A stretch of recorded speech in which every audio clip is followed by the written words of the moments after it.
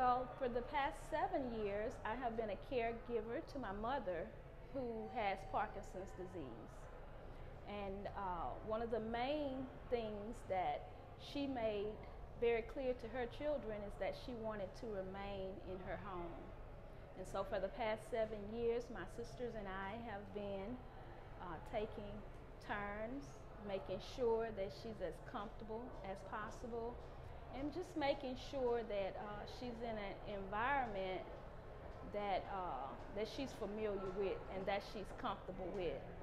And so uh, this particular season has been um, one of many ups and downs, but I believe one of the things that made it very stable for her is the fact that she was able to uh, remain in her own home.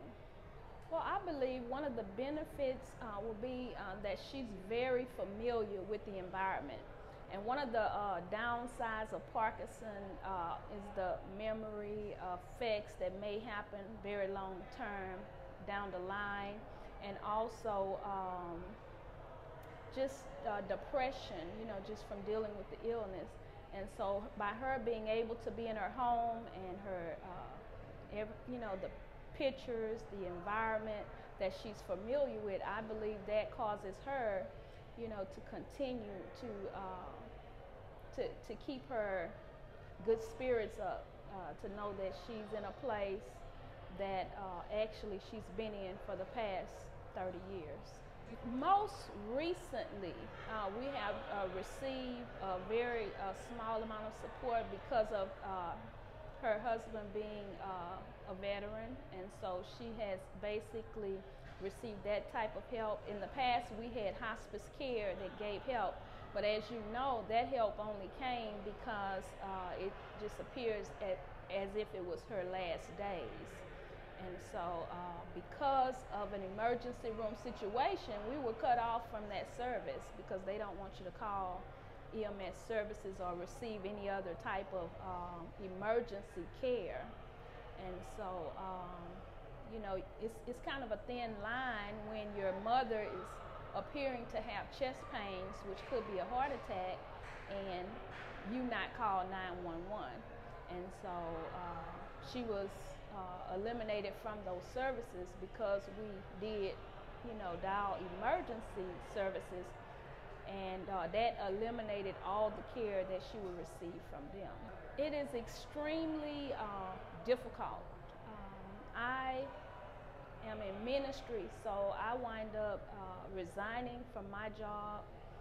Uh, but I have two sisters, one who is, uh, she suffers illness herself, and uh, my other sister, she has to work.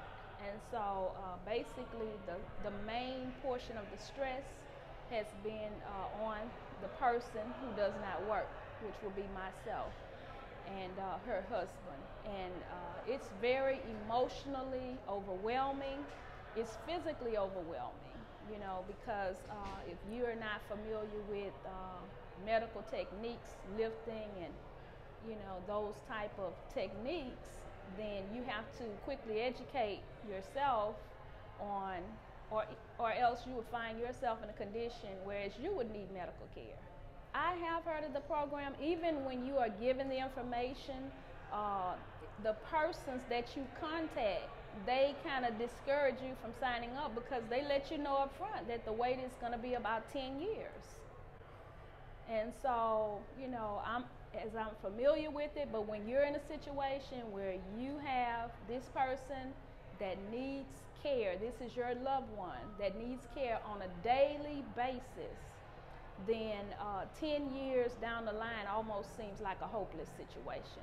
And so that's why we're here. We want to make sure that uh, if there's something that can be done, if our legislators or senators, you know, we can let them know that uh, this particular problem is going to affect every household in America.